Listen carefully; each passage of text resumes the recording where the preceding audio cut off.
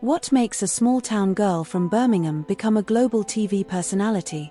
For Cat Deeley, it was a combination of talent, hard work, and a pinch of magic.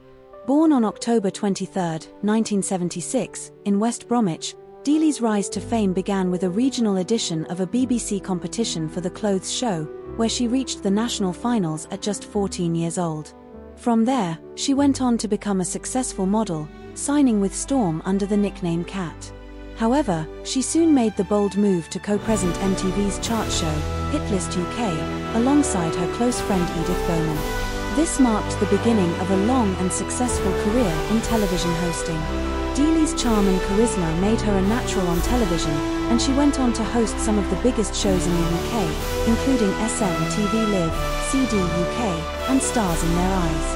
Her winning personality and infectious smile made her a beloved fixture on British television, earning her a Children's BAFTA Award and a spot on the coveted BBC Radio 2. But it was her breakout role as host of So You Think You Can Dance that catapulted her to international stardom.